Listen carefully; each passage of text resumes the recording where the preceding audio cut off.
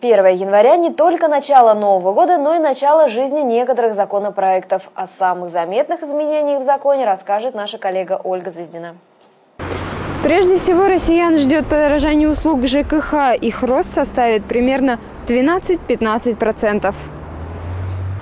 С 1 января 2013 года пиво является полноценным алкоголем, и на него вводится запрет.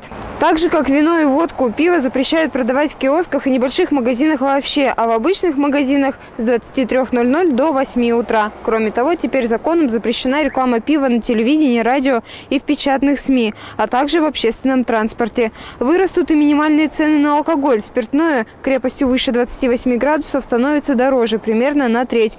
Минимальная розничная цена пол-литра водки с января должна подняться со 125 рублей до 170 рублей.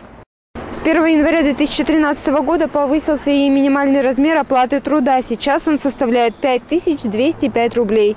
До этого составлял 4611 рублей.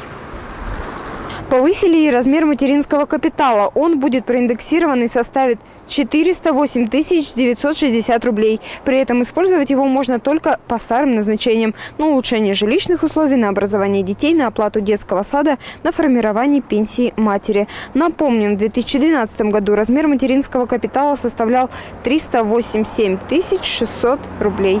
Самым резонансным нововведением стало снятие ограничений на оплату детских садов родителями. Если раньше родители должны были оплатить за садик не более 20% требуемой суммы, то теперь цену пребывания ребенка в садике устанавливает учредитель. И вряд ли кто-то удивится, если стоимость садика поднимется до 100%.